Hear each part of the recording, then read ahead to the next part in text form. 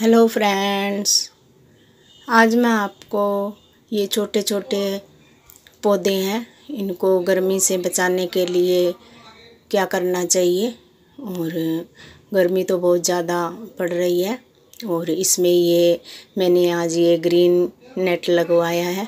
जो मेरे ये पौधे हैं, वो गर्मी से बच जाएँगे।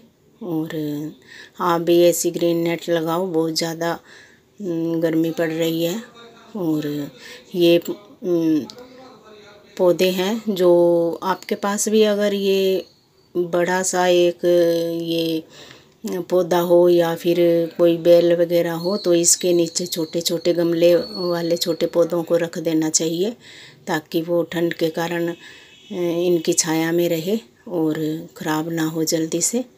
और बड़े ही सुंदर इस पौधे के फूल निकल रहे हैं और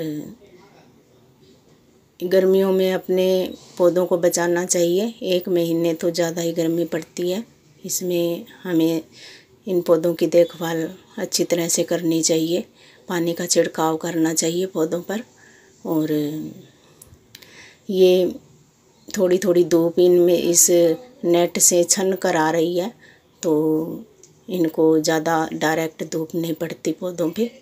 और अच्छे चल रहे हैं मेरे पौधे सारे। फूल खिल रहे हैं सुंदर सुंदर। और, इस गर्मी में आप कोई खाद मत दिया करो।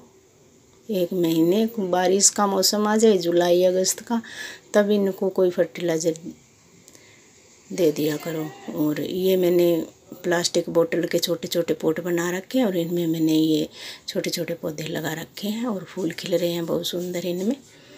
और आप गर्मियों में इन पौधों का ध्यान रखें।